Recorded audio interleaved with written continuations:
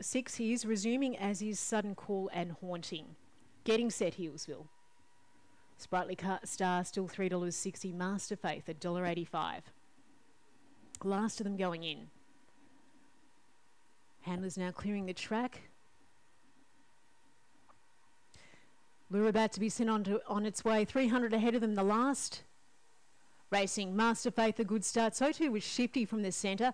Sprightly Star and Haunting nicely away out. Deep there on the track is Sudden Call. Moving up now is Riven Jack. Just in front of Sprightly Star. Riven Jack between the Master Faith. Out deep there is Sudden Call coming with the run is Shifty. Anyone's race Haunting the inside. Pushing through Master Faith. And Master Faith gets up. Just holding out Sprightly Star and Riven Jack in a tight go for the minors. Then we had next the run would have been a Sudden Call, Shifty and Haunting. And the run 17.02.